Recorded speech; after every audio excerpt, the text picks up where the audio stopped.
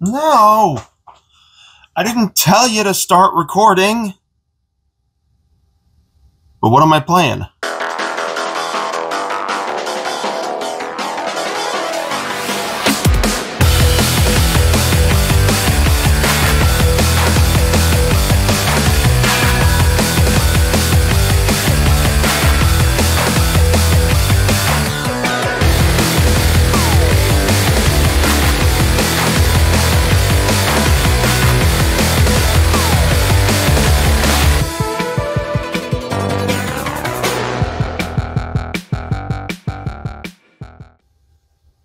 What am I playing? So I have been playing Kangaroo. I have been playing this on my Atari 2600 Plus. This is an Atari 2600 game.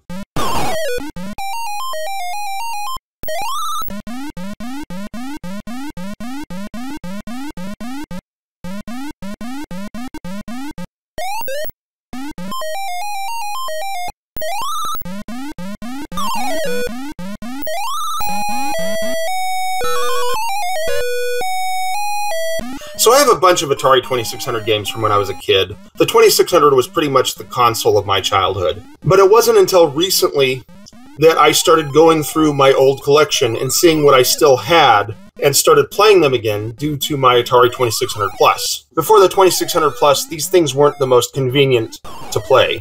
At any rate, I completely forgot about Kangaroo. Uh, this is a title that I just I didn't remember. Honestly, I forgot this thing even existed. It came out in 1983, and it was kind of Atari's take on the Donkey Kong formula. Donkey Kong, of course, being a very popular game at that time, so obviously Atari was going to try to get in on some of the action. In this game, you play as a mother kangaroo that has to ascend a level and save their Joey from evil monkeys. I don't know there's evil monkeys that are coming down and you can punch. In addition to this, there's like a bouncing ball that I think is a coconut. I don't know. I don't have the manual anymore, so I don't remember what it is. But the bouncing ball will drop on you and hurt you, so you must avoid it. Anyway, I, have been kind of amazed because this game has aged really, really well. For a game that came out in 1983, honestly, this still plays really nicely. And you can't say the same for a lot of other Atari 2600 games. I mean, I love the 2600, don't get me wrong.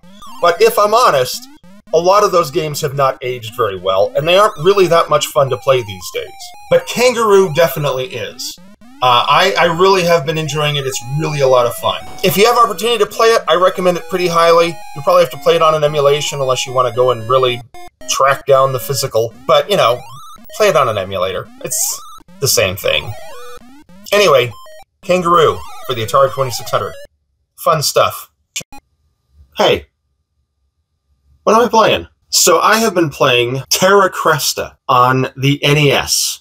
I have been playing this predominantly on my retro USB AVS.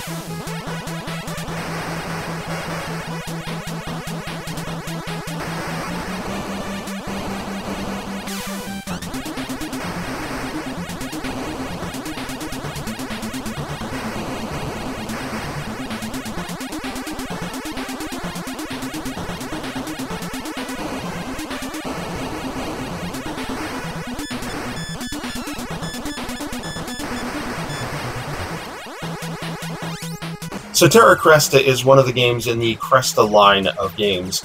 Originally, the first game was called Moon Cresta, came out in the arcades. Terra Cresta was, I think, the sequel.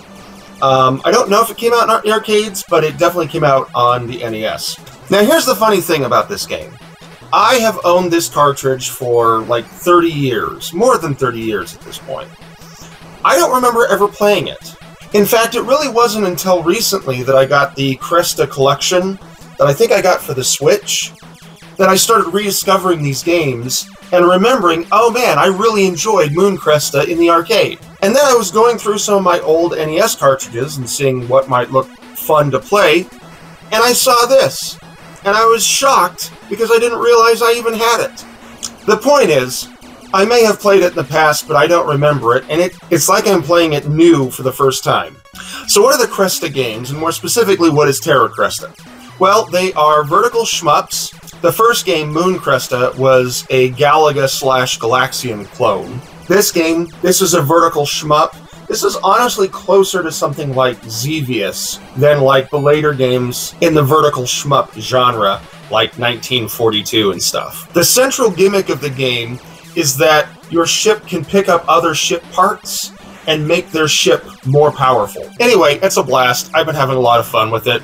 Uh, if you do happen to have the ability to check this out, this is a fun game. I recommend it pretty highly.